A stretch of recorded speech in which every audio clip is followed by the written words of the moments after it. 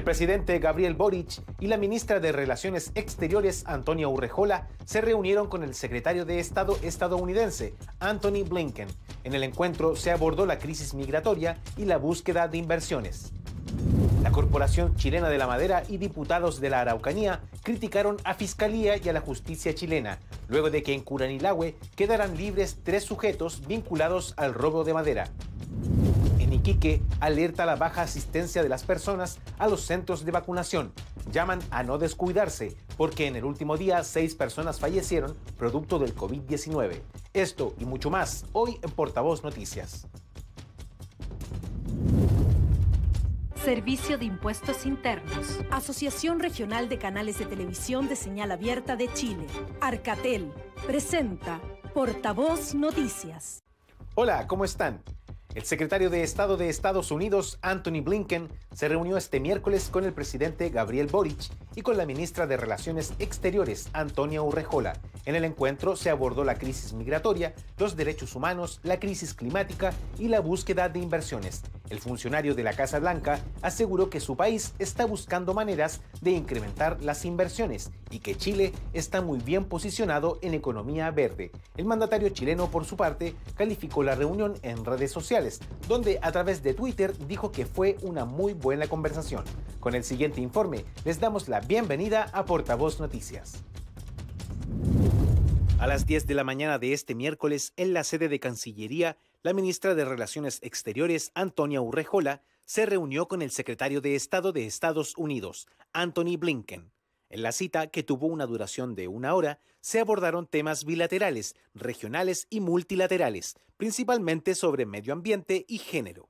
Como países amigos y aliados compartimos de manera directa y franca nuestros puntos de vista, constatando múltiples coincidencias y áreas donde podemos avanzar de manera sustantiva en beneficio de nuestros ciudadanos y ciudadanas.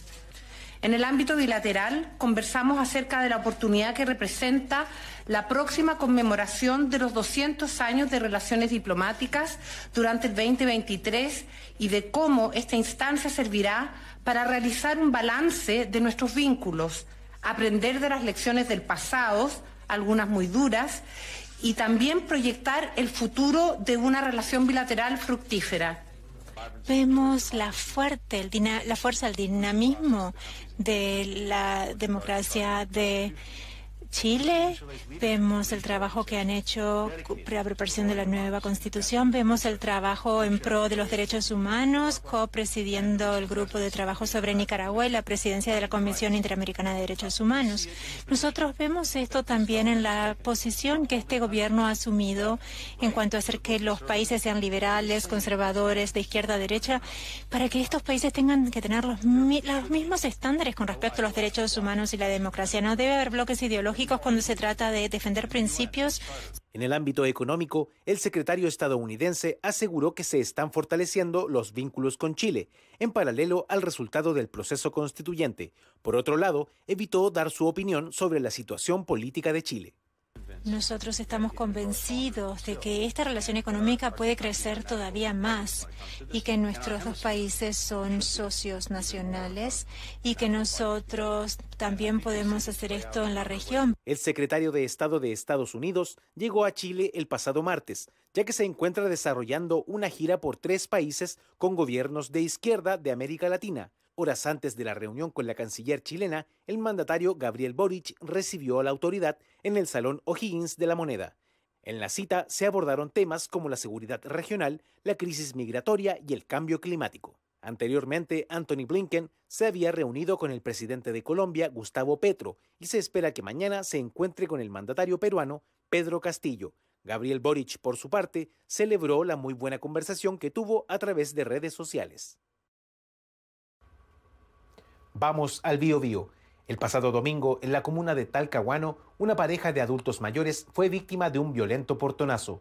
La pareja salía de su casa en dirección a un templo cuando dos antisociales los intimidaron y les quitaron su vehículo. Debido a esto, la mujer fue arrastrada unos metros. Debido al repudio transversal que provocó el suceso, autoridades y expertos de la región dieron una serie de recomendaciones para evitar y prevenir este tipo de delitos. TVU Universidad de Concepción nos da detalles. Son imágenes que no terminan de impactar y de generar impotencia. Un matrimonio de adultos mayores fueron los afectados en la población Esmeralda de Talcahuano el pasado domingo. Delincuentes que no trepidaron en nada para sustraer el vehículo. De repente siento un golpe brutal por el lado izquierdo y una pistola bastante, no sé qué calibre, pero era una pistola bien grande. Todo fue captado por cámaras de seguridad, pero ¿cómo enfrentar estos hechos? Lo primero es que las personas no pongan resistencia si son abordados por un sujeto y tienen el vehículo abierto, lo primero. Entregar el vehículo, entregarlo a la especie para evitar una confrontación o evitar víctima en este caso ante un hecho delictual. Lo segundo es ideal transitar con las ventanas bien arriba, con las puertas cerradas en el caso que ellos vean gente sospechosa en la inmediación de su domicilio, eh, de dar una vuelta más. El robo violento de vehículos como portonazos, encerronas y asaltos pasó de 2.707 casos entre enero y el 19 de junio del 2021 a 5.852 casos en el mismo periodo, pero del 2022 un aumento del 116% según datos de la cuenta pública de este año de la Policía de Investigaciones. Es por ello el aumento de consultas para dar una mayor protección a los vehículos. Películas se unen varios espesores. 4, 8 micras, y le pusiste una lámina de 4 micras, que en realidad nosotros acá esa lámina la instalamos técnicamente como un polarizado de seguridad. Para nosotros una lámina de 4 de micra, aparte de retener eh, fragmentos de esquila de vidrio, eh, nivel de seguridad súper bajo. Nosotros acá instalamos 8 micras, 12 micras y 24 micras. Eso es lo que instalamos casi el común de los días a casi todas las personas, porque eso te da realmente un tiempo de reacción. A nivel psicológico, la afectación es considerable. No tan solo está el robo, sino lo emocional. Eso también se ve dañado.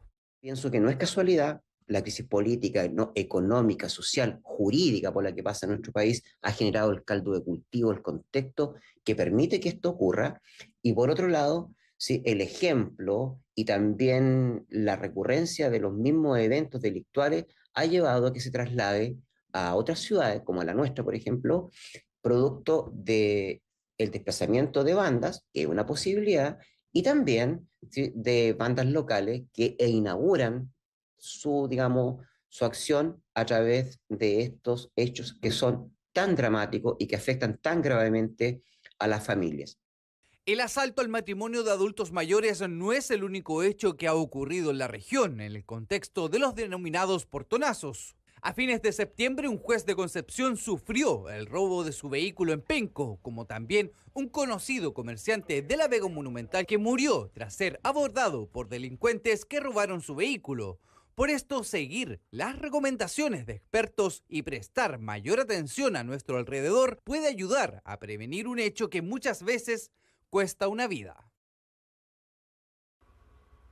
La Corporación Chilena de la Madera reaccionó con molestia luego que el Tribunal de Garantía de Curanilagüe dejara en libertad a tres personas vinculadas con una banda dedicada al robo de madera. El presidente de Corma cuestionó el trabajo de Fiscalía y el de la Justicia, mientras que diputados de la Araucanía piden aprobar la ley de usurpación. Universidad Autónoma Televisión con el reporte.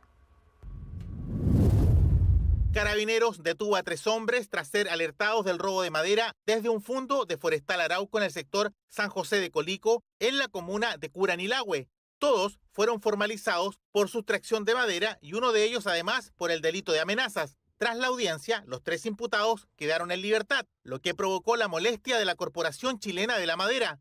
El presidente de Corma, Juan José Ugarte, señaló que el gobierno, los parlamentarios y las Fuerzas Armadas y Carabineros están haciendo su trabajo y cuestionó el desempeño de la Fiscalía del Biobío y de la Justicia. Esto es una burla para todos los chilenos. El gobierno, con el apoyo de carabineros y Fuerzas Armadas, han hecho su pega. Los legisladores, sin distinción de izquierdas y derechas, han aprobado una nueva ley para perseguir y castigar de manera eficaz estos delitos de alcance terrorista. Pero al momento de actuar, Fiscalía y tribunales fallan de manera incomprensible, expandiendo la sensación de impunidad y angustia de quienes vivimos en esta tragedia. Es el momento de actuar con unidad de Estado condenar la forma como ha estado actuando la justicia a propósito de las detenciones que se han hecho. Yo y seguramente los demás parlamentarios van a estar atentos respecto a la investigación que lleve adelante y que puedan justificar el hecho de que no se haya solicitado la prisión preventiva en esta ocasión, esperando que los resultados a futuro puedan significar que no solamente esta persona quede en prisión preventiva, sino que otras y, sean sancionadas y con ello dar tranquilidad y no siga este tipo de hechos ocurriendo en la región de Araucanía, en la macrozona sur y en el sur de Chile. El diputado Andrés Joanet indicó que se está avanzando contra los grupos delictuales que operan en la macrozona sur, pero precisó que aún falta mucho. Avanzamos eh, en contra de estas bandas organizadas, pero falta aún mucho y tenemos, por ejemplo, que ahora avanzar en la ley de usurpación. Todo esto nos va a permitir reducir la violencia y la delincuencia y el terrorismo en la Araucanía. Nos falta mucho, pero creo que esto es un avance muy importante. Los abogados de la empresa forestal Arauco apelarán ante la Corte de Apelaciones de Concepción la resolución del Tribunal de Garantía de Curanilagüe. Con un juicio en la ciudad de los Andes, comenzó en la región de Valparaíso la implementación de la Ley 21.057, que busca salvaguardar a niños, niñas y adolescentes en este tipo de procesos judiciales, cuando son víctimas de delitos violentos o sexuales. BTV2 con la nota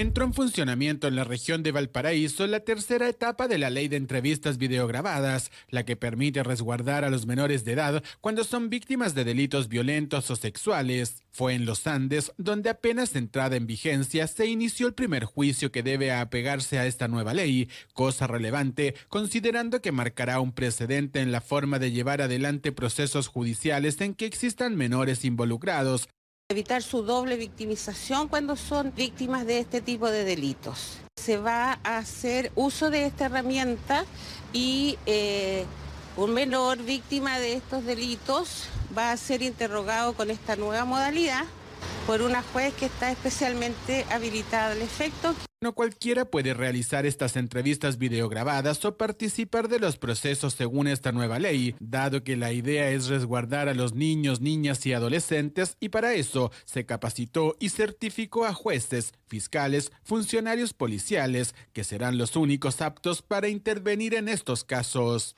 poder dar un mejor trato a nuestros niños, niñas y adolescentes. Nosotros contábamos hasta este año, el primer semestre, digámoslo así, con tres salas eh, habilitadas en Quintero, en Quilpué y en em, Viña del Mar. Y eh, vamos a iniciar adicionalmente la... Eh, vamos a poder implementar durante estos primeros días en la entrada en vigencia de la ley, adicionalmente salas en Los Andes, en La Calera y en Valparaíso. Son personas que pertenecen a tres instituciones, el Ministerio Público, el Carabineros de Chile y la Policía de Investigaciones, que van a actuar de intermediarias e intermediarios respecto de niños, niñas y adolescentes que puedan verse bajo... Eh, un proceso judicial, penal específicamente, y que requiere para estos efectos que se vean protegidos en sus derechos. Una ley que nace con el fin de entregar un entorno protegido para niños, niñas y adolescentes víctimas de delitos sexuales u otros delitos violentos, evitando toda consecuencia negativa que estos puedan sufrir con ocasión de su interacción en calidad de víctimas con las personas o instituciones que intervienen en las etapas de denuncia, investigación y juzgamiento de los delitos. Además de Valparaíso, su implementación comenzó en las regiones metropolitana de O'Higgins y de los Lagos, quedando operativa con ello en todo el país. En la capital, el presidente de la República, Gabriel Boric, se reunió esta mañana con locatarios y locatarias del barrio Franklin para el lanzamiento de una nueva versión del programa de fortalecimiento de barrios comerciales. La convocatoria espera beneficiar a 40 barrios de todo el país. Los que resultan seleccionados recibirán un subsidio promedio anual de 25 millones de pesos para la ejecución de un proyecto de tres años. Las postulaciones estarán abiertas hasta el 28 de octubre a las 15 horas por el sitio web www.cercotec.cl. Nosotros pusimos el centro en la seguridad y la seguridad tiene diferentes caras. Estamos hablando de la importancia de la seguridad ciudadana, queremos fortalecer la seguridad ciudadana, recuperar los barrios. Estamos trabajando firme en eso en conjunto con las policías, pero por sobre todo con los habitantes, con los locatarios. Seguridad económica. que ustedes puedan tener un respaldo, que puedan tener una ayuda. Me contaban, por ejemplo, lo difícil que ha sido con el tema de las deudas, de, las deudas producto de la pandemia que el Estado pueda ponerse ahí para sacar adelante a estas pymes que son las que entregan además más de la mitad del trabajo en Chile. Son ustedes los que mueven la economía y conjunto con mover la economía mueven la cultura y la historia y van adaptando la cultura chilena justamente a los tiempos que corren y eso es tremenda, tremendamente valioso. Nos vamos a una pausa ya volvemos con más Portavoz Noticias. No se vayan. Paula creció en un país que apenas conocía la discapacidad. No se hablaba de derechos, tampoco de inclusión, pero a medida que Paula fue creciendo, nuestro país también iba cambiando. Empezamos a hablar de integración, de accesibilidad, de igualdad de oportunidades. Hoy, Paula tiene una vida plena y feliz.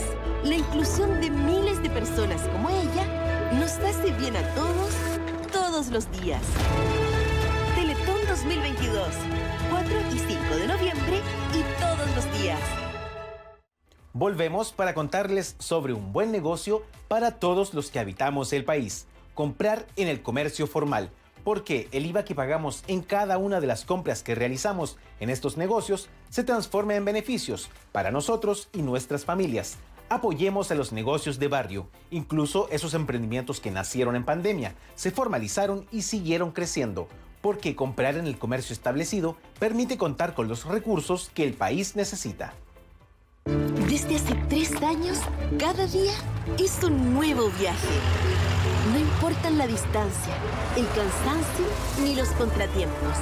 ¿Quién no haría una abuelita por su nieto? Lo importante es que Hans nunca falte a su rehabilitación. La perseverancia de Elizabeth se forja desde el amor y la esperanza. Su perseverancia nos hace bien a todos, todos los días. Teletón 2022. 4 y 5 de noviembre y todos los días. Volvemos para contarles sobre un buen negocio para todos los que habitamos el país. Comprar en el comercio formal, porque el IVA que pagamos en cada una de las compras que realizamos en estos negocios se transforma en beneficios para nosotros y nuestras familias. Apoyemos a los negocios de barrio, incluso esos emprendimientos que nacieron en pandemia, se formalizaron y siguieron creciendo, porque comprar en el comercio establecido permite contar con los recursos que el país necesita. Ya estamos de vuelta. Vamos con el reporte oficial de la pandemia de esta última jornada, en las que seis personas fallecieron y más de 3.300 se contagiaron de COVID-19, con cerca de 31.000 exámenes realizados. Todavía hay 102 pacientes graves en las UCI de los hospitales y 70 están conectados a ventilación mecánica. Y aunque vivimos una nueva etapa de la pandemia con más libertades, el llamado es a no descuidarse, como está ocurriendo en Iquique, donde ha bajado considerablemente el interés por aplicarse la vacuna contra el virus. Iquique Televisión tiene los detalles. Interés por las vacunas contra el COVID-19 ha experimentado una baja considerable ante el fin del pase de movilidad que empezó a regir el 1 de octubre. Actualmente se ha visto una baja o un declive en la vacunación. El gobierno implementó que a partir del 1 de octubre se elimina el pase de movilidad y la mascarilla, ya se ha visto un declive bastante significativo en la vacunación. Si bien es muy poca la acción que se vive en el vacunatorio de Plaza Prat, aún hay personas que acuden para recibir su vacuna, pero la cantidad es muy inferior en comparación a tan solo unos meses atrás. Probablemente con el pasar de las semanas se vaya a ver una baja más significativa todavía de la que ya tenemos, porque recién esta sería como la primera semana desde que el gobierno anunció que se va a eliminar el pase de movilidad. El vacunatorio seguirá activo de lunes a viernes desde las 9 de la mañana hasta las 17 horas, donde cualquier persona mayor de 3 años puede acudir a vacunarse contra el COVID. En el Maule, Sense lanzó un proyecto de capacitación para zonas rezagadas de la región. Son 18 cursos para 450 personas pertenecientes a las comunas de Cauquenes, Chanco, Peyúgue y Empedrado, que permitirán aprender sobre comercio electrónico, marketing, gestión de empresas, elaboración de jabones o manejo de alimentos. TV5 de Linares nos cuenta más. Cauquenes, Chanco, Peyúgue y Empedrado serán las comunas a las que Sense en Maule fortalecerá en capacitación en el manejo de alimentos con el proyecto Transferencia y Apoyo a la Empleabilidad y Competencias Laborales. Es un curso que vamos a hacer de jabones naturales, verdaderamente naturales, lo que a mí me alegra mucho porque hace que volvamos a lo natural. Nos ha ayudado bastante en el tema de ir eh, adquiriendo conocimientos en base a cómo gestionar nuestro emprendimiento, porque si bien muchos emprendemos, no, no manejamos muchas áreas dentro de, de lo que es emprender. Se trata de las denominadas zonas rezagadas. Para 450 emprendedores se aprenderán técnicas de inocuidad en el manejo de los alimentos. Los cursos son diversos, hay de gestión de emprendimiento, de inocuidad, preparaciones culinarias, em, conducción. ¿Ya? y eh, tienen una salida independiente, lo que significa que se les entregan un subsidio de herramienta eh, de 200 mil pesos para ser invertido en alguno de los proyectos con los que ellos o trabajan o van a trabajar o van a crear. ¿ya? Además, eh, contempla un subsidio diario de movilización de 3 mil pesos por día asistido una iniciativa de Sense Maule y el Consejo Regional que aportó 350 millones de pesos. Son atingentes a lo que la gente necesita para que ellos puedan emprender y, obviamente mejorar la capacidad que tienen de atención a público también y de... Así que en eso estamos y seguiremos trabajando porque vendrán otras alianzas estratégicas para que el gobierno regional nos apoye también en otros proyectos que queremos impulsar. 18 cursos para estas cuatro comunas denominadas zonas rezagadas a las que se quiere potenciar en su base productiva. En la ciudad de Coyhaique, el 2 de septiembre pasado, un médico del consultorio Víctor Domingo Silva fue agredido con golpes de puño y pies por un sujeto. En ese momento los funcionarios del recinto alertaron que no es primera vez que ocurre, por lo que exigieron mayor seguridad. A poco más de un mes, finalmente se implementaron medidas para proteger a los trabajadores, que se replicarán en otros recintos de la ciudad. Santa María Televisión con la noticia. A principios del mes de septiembre se conoció el caso del ataque de un usuario del consultorio Víctor Domingo Silva contra un médico de este recinto asistencial. El hecho generó temor en los trabajadores, quienes incluso protagonizaron una protesta pacífica exigiendo acciones concretas para salvaguardar su seguridad. A un mes de este hecho, se anunciaron diversas medidas para proteger tanto a los usuarios como a los funcionarios, entre ellos la instalación de cámaras de seguridad al interior de este establecimiento pudimos dar respuesta, digamos, a esta necesidad muy sentida de los trabajadores de nuestro CEFAM de poder instalar cámaras de seguridad, eh, con grabación obviamente, que nos permitiría dar mucho mayor seguridad a las atenciones del día a día. Se están tomando todas las medidas para que esto no vuelva a ocurrir. Eh, como servicio reaccionamos, eh, se implementaron el servicio de vigilancia, las cámaras. Los trabajadores valoraron las medidas que les permitirán realizar su primordial labor de manera más tranquila y segura. Estamos muy contentos en realidad como funcionarios de poder contar con estas medidas de, seguridad. También estamos atentos a la respuesta que nos está dando el servicio frente a otras solicitudes también para los funcionarios y también para la atención de nuestros usuarios. Así que estamos ahí. Entendemos que todas estas medidas son de forma gradual, no pueden ser todas inmediatas, así que ahí estamos viendo también otras solicitudes que tenemos en, carpeta. Estas medidas también serán implementadas en otros establecimientos de la red asistencial, como el consultorio Alejandro Gutiérrez. Este fenómeno no ocurre de igual manera en las ciudades de Coyhaique, Portaicén, como en otras localidades, en Cochrane, Chile Chico. Eh, donde son mucho menores, eh, pero sí podemos mencionar que en el consultorio Alejandro Gutiérrez también se están avanzando en tomar esta misma medida, ya hay cámaras instaladas, se va a trabajar en la instalación de guardias para equiparar un poco la seguridad que tienen los funcionarios y también las personas. Las medidas ya fueron implementadas buscando evitar nuevos hechos de maltrato y agresiones físicas como los vividos a principios de septiembre contra un médico del consultorio Víctor Domingo Silva de Coyhaique nos vamos a la región de los lagos, porque en la comuna de Puerto Varas avanza el plan Lagos sin Huellas, que busca monitorear periódicamente la calidad del agua del lago Yanquihue. El Ceremi de Salud de la zona asegura que en las muestras tomadas todavía hay una leve presencia de contaminación, por lo que ahora se buscarán las fuentes de estas emisiones. Vértice Televisión con la nota. El plan de monitoreo del lago Yanquihue ya tiene sus primeros resultados. Recordemos que se trata de un trabajo conjunto entre la Municipalidad de Puerto Varas y la Seremi de Salud de la región de los lagos, este último organismo a cargo del análisis de las aguas. y donde nosotros ya hicimos una primera toma de muestra que arrojó algunos eh, niveles todavía dentro del límite, pero sí en un par de puntos con presencia de contaminación. Todavía no en los rangos críticos, pero sí con presencia. Eh, y eso justamente la idea es poder focalizar el trabajo en todos los lugares donde se tiene que ir a la fuente, porque la, idea acá y, el, beneficio de este sistema es poder a través de los puntos donde se eh, pesquisa que hay contaminación, aunque sea pequeña, pero hay, se pueda eh, hacer la trazabilidad desde dónde está proviniendo, ¿cierto? Y los cursos de agua por, que bajan desde los distintos puntos de la ciudad, bueno, cuál es el origen, y eso es lo que entiendo está trabajando el municipio. El lago Yanquihue es fundamental para el desarrollo económico y turístico de las comunas ubicadas en la cuenca. De ahí el trabajo iniciado para lograr su descontaminación y que involucra todo un proceso. Es un programa permanente, nosotros vamos a estar constantemente, periódicamente, eh, tomando estas muestras e informándolas al, municipio, el cual las va a ir subiendo eh, a una plataforma y así la gente va a poder eh, en línea consultar si el lugar en el cual está accediendo al lago tiene o no tiene en el último monitoreo presencia o no de contaminación. La intención es que para la época estival el lago Yanquihue esté en condiciones, sobre todo en la costa de Puerto Varas, de permitir abrir las playas a la comunidad y visitantes, sin el riesgo de acceder a las aguas con algún tipo de contaminación. Al menos por ahora, se va por buen camino para proteger y conservar una de las reservas naturales más bellas del país.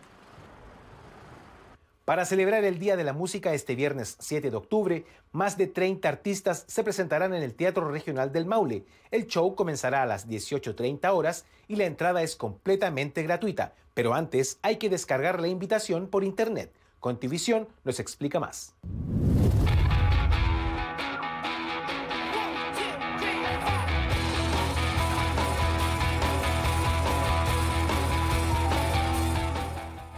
Seis bandas e igual número de solistas, todos del Maule, serán parte de esta celebración regional del Día de la Música y los músicos chilenos. Evento convocado por el Ministerio de las Culturas, las Artes y el Patrimonio y el Teatro Regional del Maule. Este se realizará este viernes 7 de octubre desde las 18.30 horas en el escenario principal del TRM un imperdible panorama con entrada gratuita, previa descarga de invitación a través de www.vivoticket.cl. Estamos todos y todas invitados a un gran encuentro luego de dos años de formato eh, online. Vamos a volver a encontrarnos con seis bandas, seis solistas, la Orquesta Clásica del Maule, en homenaje a nuestra gran Violeta Parra, este 7 de octubre, Día de la Música Chilena. Solamente tienes que sacar tu ticket en vivoticket.cl porque la actividad es completamente gratuita. Los esperamos a todas y todos. Y una sorpresa más. Tras un trabajo de residencia artística y bajo los arreglos del director musical de Inti Gimani, Manuel Meriño, cada una y uno de los solistas interpretará sus obras junto a la Orquesta Clásica del Maule. Esto significa que se fusionan dos estilos muy distintos que la música adopta a través del trabajo de la Orquesta Clásica del Maule junto con los diversos estilos de los músicos regionales. Por lo tanto, se transforma en un trabajo de residencia, donde durante una semana se preparan arreglos, se ensayan y se produce un concierto integral que incluye lo mejor de estos dos mundos bajo la dirección de un destacado director invitado que es Pablo Carrasco y con la dirección artística de Manuel Meriño. Lo que buscamos es que este Día de la Música logre encontrar públicos diversos, familiares, públicos cercanos a la música docta y cercanos también a la música popular, folclórica de raíz y popular de los músicos regionales.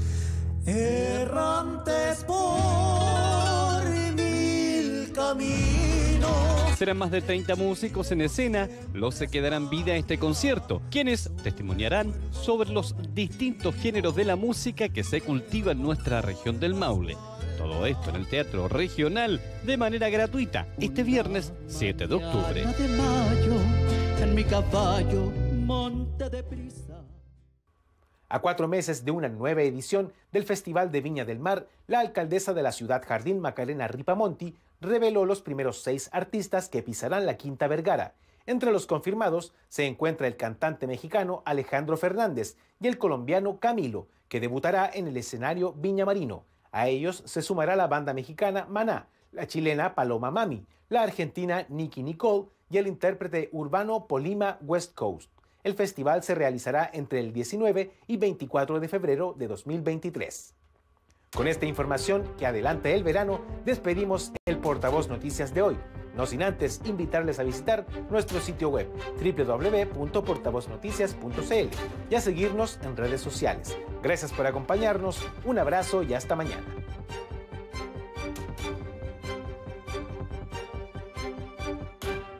Servicio de Impuestos Internos. Asociación Regional de Canales de Televisión de Señal Abierta de Chile.